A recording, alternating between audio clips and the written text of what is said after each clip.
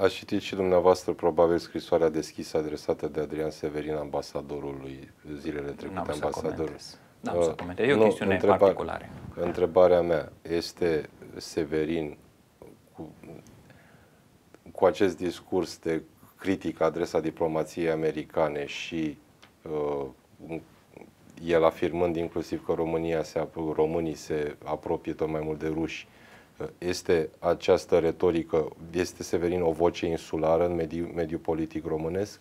Deci, Ați mai auzit deci la nivel eu nu, public? nu sau? vreau să discut despre un personaj uh, punctual, cu atât mai mult cu cât are niște probleme în spate de natură penală.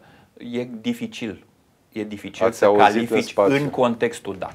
Dacă vorbim despre persoane, sunt probabil persoane care au și asemenea idei. Au existat în altă perioadă persoane. O să le vedem în momentul în care se asumă. Însă, pe zona politică, ceea ce pot să vă spun este că îmbrățișarea unui, uh, haideți să spunem, unor interese ruse deschise, că e vorba de zona strategică, politică, militar, sau că e vorba în zona economică, uh, se soldează cu sancțiuni de către publicul românesc. Deci nu e o direcție care ar uh, ajuta la adunare de voturi. Din contră, cine încearcă să meargă pe zona asta, în principiu e marginalizat și trimis de principiu în zona extraparlamentară, în zona... Tocmai pentru că baza, fundamentele, cel puțin astăzi, sunt de această natură. Nu știu, pe un anumit tip de politică de război informațional, de propagandă, de deschidere, în 10 ani s-ar putea ca lucrurile să arate sensibil diferit și să poată exista, nu știu, un partid de 3% sau de 5% care intră în Parlament și care reprezintă opțiunea prorusă, nu știu. În momentul de față însă nu am aceste elemente în mainstream, mm. în zona majoră.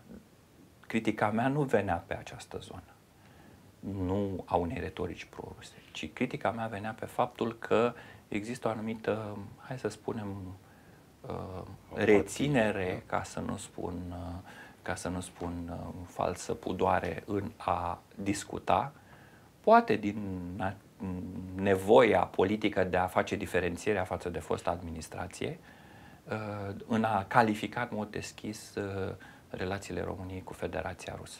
Se poate vorbi despre... Și nu mă refer aici da. la Ministerul Afacerilor Externe, care își are rolul lui și care în orice moment va trebui să nuanțeze și să... E rolul lui să mențină relații cu toți, cu, cu, cu, cu toate se statele po- lumii și cu toți partenerii. Se poate vorbi despre o implicare a Rusiei în evenimente ieșite din comun care au avut loc în România ultimilor ani și care au dus la o spirală a presiunilor asupra autorităților în diverse domenii. Mă gândesc, de exemplu, la uh, toate evenimentele ce au însoțit uh, explorarea gazelor de șist. Aici au existat elemente și care țin de interese directe. Însă aici aș plasa undeva între, mai degrabă către zona de lobby. E foarte simplu, ca Aveți și companie, ca adică... Petrom, să plătești la nivelul, o firmă de lobby la nivel european care să, Aveți să susțină, că s-a să susțină zona lucru, sau? ecologistă, organizații ecologice. N-am să vă răspund la, la această întrebare. Zona ecologistă ca să protestăm împotriva gazelor de șist. Eu am o Uh, în primul rând, tatăl meu a adus uh, disciplina ecologie în România și în zona asta chiar am uh, în familie și am trăit în state care sunt foarte apropiate de problema ecologistă. Eu am o problemă cu ecologismul selectiv.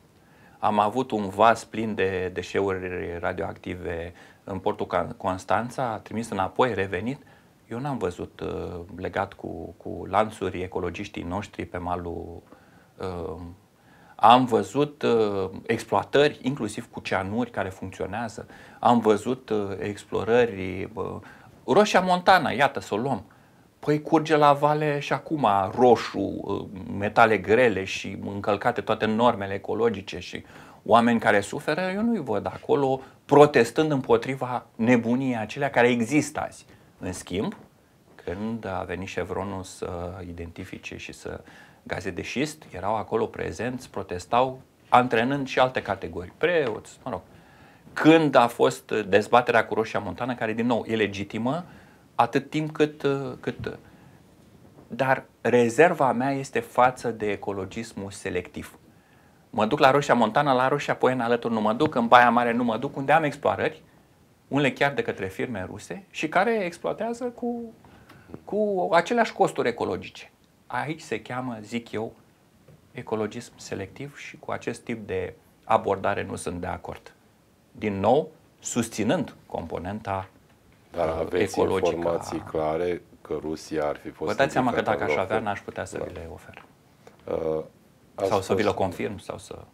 Ați uh, fost inclus pe lista persoanelor care au interdicție de Da, intrare probabil în trebuia Rusia. să începem cu acest punct. Mulțumesc că îl aduceți ca toți uh, ascultătorii noștri să înțeleagă prin ceea ce, ceea ce spun și subtextul da. acesta, care nu are nimic însă de a face cu, cu Ați activitatea primit mea vreo- și cu cele, dar e bine pentru corectitudine. Ați primit vreo explicație pentru, pentru faptul că ați fost inclus pe această listă? De, în afara ce? declarației uh, Ministrului Afacerilor Externe Lavrov publice, care a spus că este, uh, care vorbește despre, despre atacarea intereselor uh, Federației Ruse, mm, nu am o asemenea explicație. Pe de altă parte, nu mă raportez la, la acest lucru decât în mod direct. E clar că în momentul în care uh, califici și din postura în care eram, uh, pentru că să nu uităm, uh, lista de interdicție a venit după martie 2014, nu a venit atunci când s-a anunțat, când eram deja o persoană particulară.